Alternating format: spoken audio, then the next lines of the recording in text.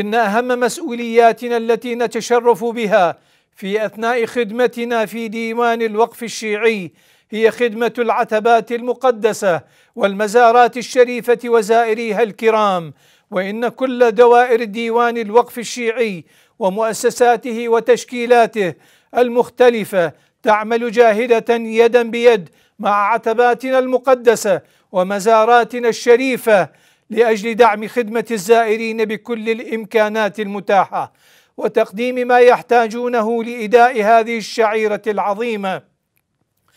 وعليه نخاطبكم أيها الأحبة الكرام بما أرجو أن نكون عليه جميعا وهو الآتي.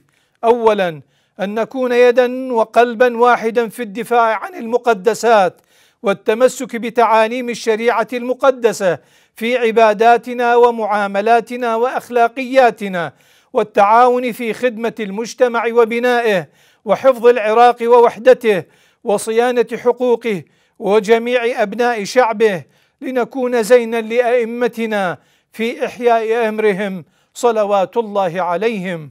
ثانيا أن نتمسك بأداء الشعائر الدينية عامة والحسينية خاصة التي أوصت الشريعة المقدسة بها وبين الأئمة عليهم السلام لنا معالمها وحدودها وكيفيتها.